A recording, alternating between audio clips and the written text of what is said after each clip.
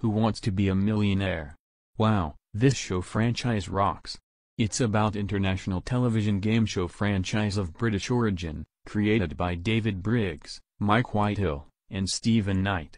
In its format, currently owned and licensed by Sony Pictures Television, contestants tackle a series of multiple-choice questions to win large cash prizes in a format that twists on many game show genre conventions. Only one contestant plays at a time, similar to radio quizzes. Contestants are given the question before attempting an answer, and have no time limit to answer questions, and the amount offered increases as they tackle questions that become increasingly difficult.